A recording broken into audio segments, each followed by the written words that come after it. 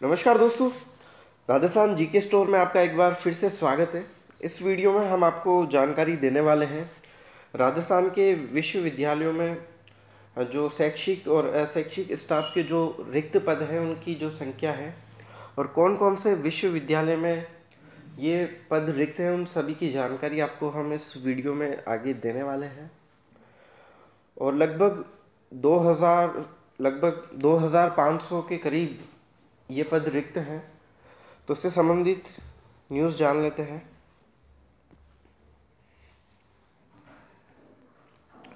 शैक्षिक के दो हज़ार छियालीस में से 970 और अशैक्षिक स्टाफ के चार हज़ार तीन सौ इकतीस में से एक हज़ार पाँच सौ पैंसठ पद हैं खाली।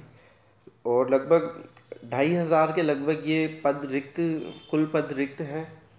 और आप देख सकते हैं यहाँ पर कि कौन कौन सी यूनिवर्सिटीज़ हैं इनमें?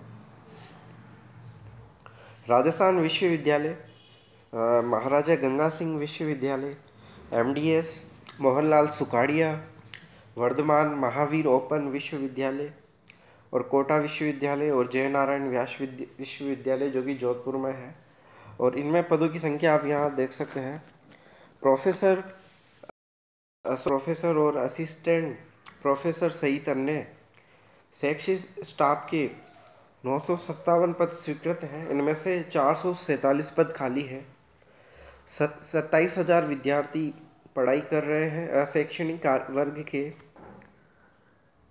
एक हज़ार आठ सौ सत्तावन में से आठ सौ, नौ सौ, सॉरी, आठ सौ छप्पन पद खाली हैं।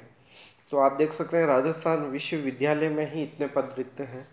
इसी तरह से महाराज गंगा सिंह विश्वविद्यालय में शैक्षिक स्टाफ के हाँ भी पद खाली हैं और शैक्षणिक वर्ग में 130 पद खाली हैं और इसी तरह से एमडीएस विश्वविद्यालय में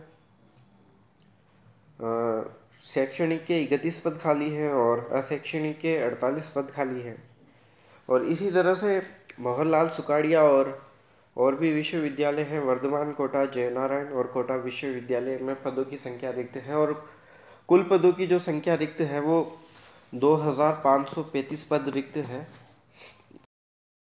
जिनमें शैक्षिक के नौ सौ सत्तर पद रिक्त हैं और अशैक्षिक स्टाफ के पंद्रह पद खाली हैं। और बड़ा सवाल क्या है? वर्ल्ड क्लास यूनिवर्सिटी का दर्जा दिलाने के लिए उच्च शिक्षा विभाग आर यू और सुखाड़िया विश्वविद्यालय में तो पदों को बढ़ने की वित्तीय स्वीकृति दिलाने के लिए तैयार है, लेकिन ये दोनों ही नहीं।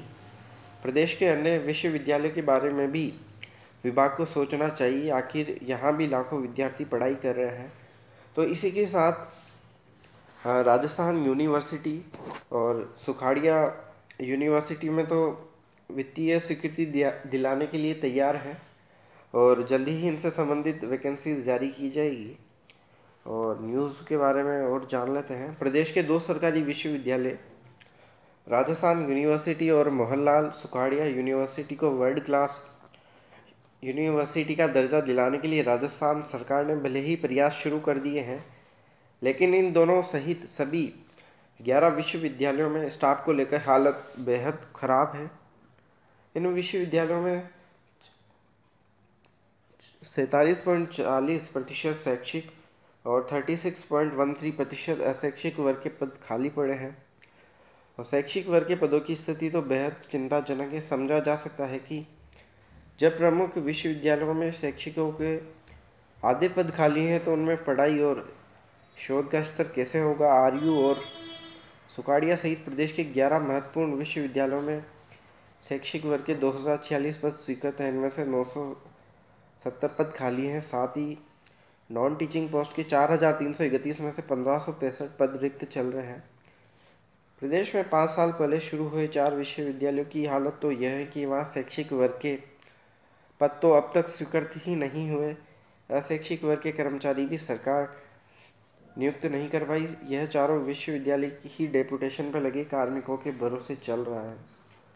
तो आप यहाँ देख सकते हैं, इतने पद रिक्त हैं। उसके बाद इन विश्वविद्यालयों में कोई वैकेंसीज़ नहीं है और गवर्नमेंट को इन विश्वविद्यालयों में वैकेंसीज़ निकालनी जानी चाहिए और बेरोज़गार विद्यार्थियों को भी इनमें लगाना चाहिए ताकि उन्हें भी एक मौका मिले और वो भी अपने अपने जो सपने हैं गवर्नमेंट जॉब का, वो अपना सपना पूरा कर सके और उन्हें रोज़गार मिल सके।